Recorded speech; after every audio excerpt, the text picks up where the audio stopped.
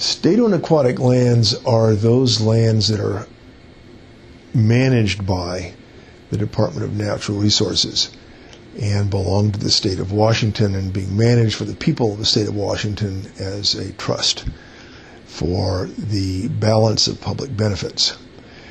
It's a long and complicated story. At statehood, the intertidal and subtidal lands of Puget Sound, beds of navigable rivers and streams and lakes were given to the state by the federal government.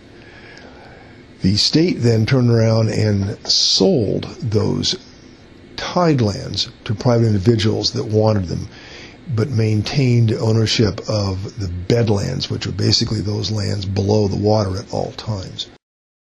The bedlands are almost always in public ownership. The bedland is that area below extreme low tide. When the tide goes out as far as it ever goes, below that is by and large public the tidelands, that area that is between the high and the low tides, can either be public or private. It originally was all public, and about 60 to 70 percent of it has been sold off. The remainder is in public ownership.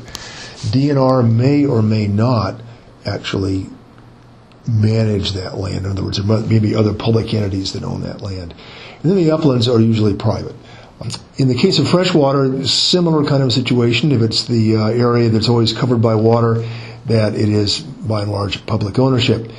The shorelands, again, can be either public or private, which is kind of the, that narrow strip between when there's a high water and a low water, say in a flood or not in a flood. And then the upland is usually private with the same kind of stipulations on it.